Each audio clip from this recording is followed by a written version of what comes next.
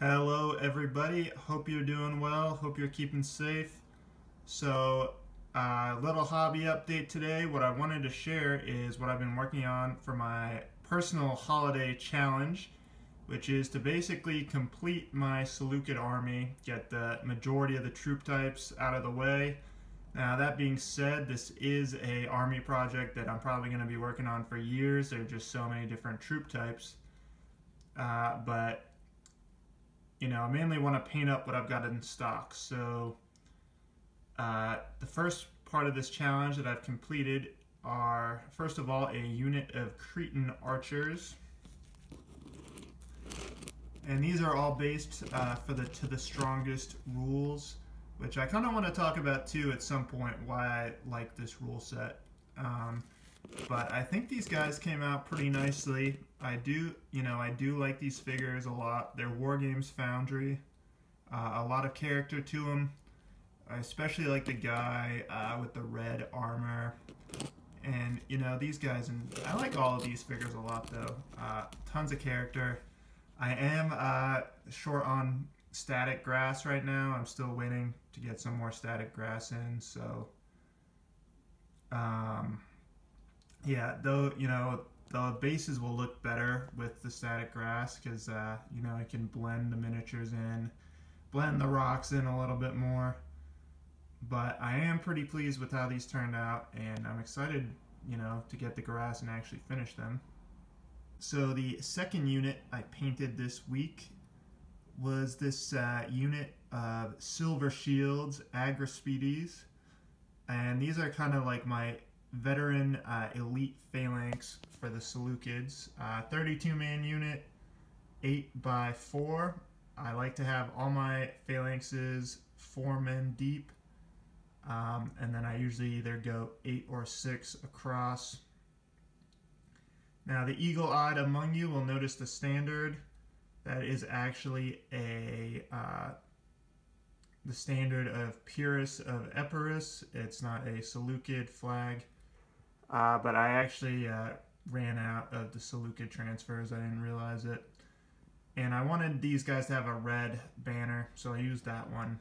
And, uh, you know, I don't think it's really a big deal.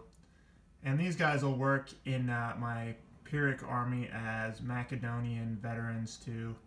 Pyrrhus had his uh, regular Molossian troops, but then he also had uh, Macedonians who went over to his side, and they're kind of the elite troops of the phalanx of his phalanx anyways. So yeah, these guys will work, um, you know, for any elite phalanx unit really. So I did want to have red, you know, red is a color that I use a lot in my Seleucid army, so I wanted to have that common army theme. Also, uh, in Livy, I believe he mentions uh, elite Macedonian regiments dressed in red cloaks and red tunics. So I wanted all of them to have those red cloaks and red tunics.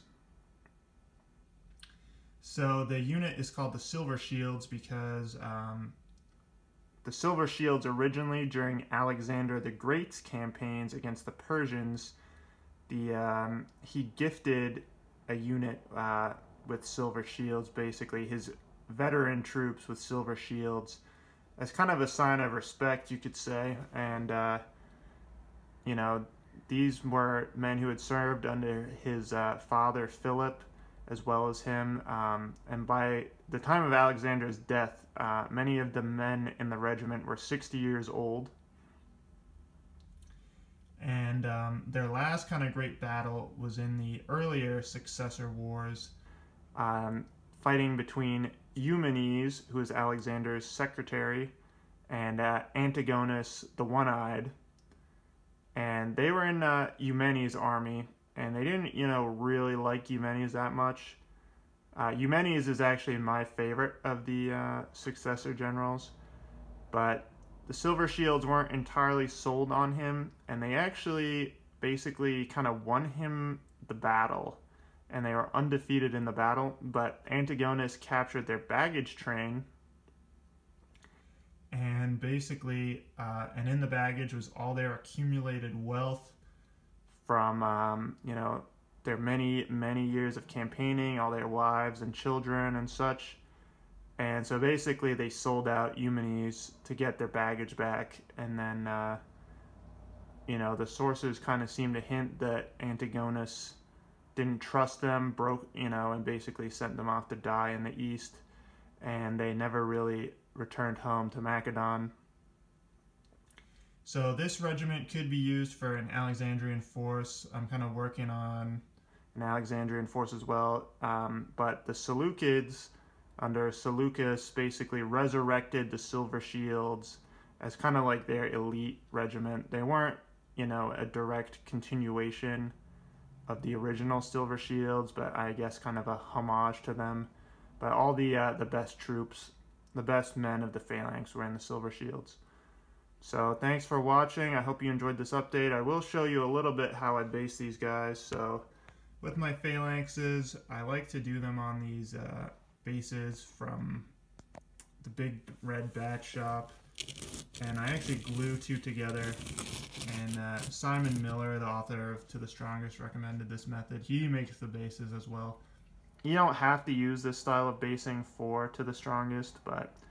I like it because you can actually really make, you know, units that seem accurate to the formations of the past. So you know, I really wanted to have these guys like locked shields, which it's really hard to actually do guys with locked shields if they're on single bases.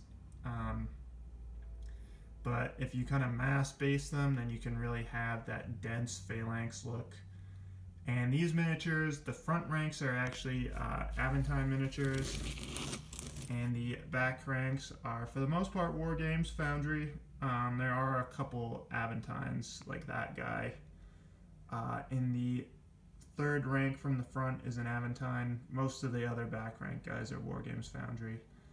And I do like this uh, leveled pike look um, because one of the problems with Phalanx is modeling on them on the tabletop is you can't really have them with totally lowered pikes because um, then they kind of end up, you know, scratching or you know, when you're trying to move units into contact, the pikes get in the way, which is kind of an interesting, like, historical, uh, you know, element because the pikes would have kind of done that in real life too, right?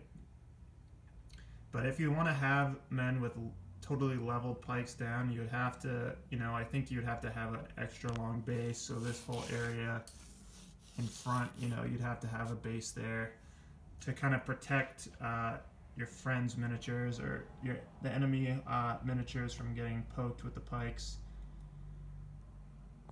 And uh, you know you could actually do that in To the Strongest, but um, you know I prefer kind of like this set half level position because then you get that you know that wall of pikes advancing, but they just go over the heads of the enemy. So thanks for watching. I hope you enjoyed this video. Uh, that was this is kind of part one of the holiday challenge.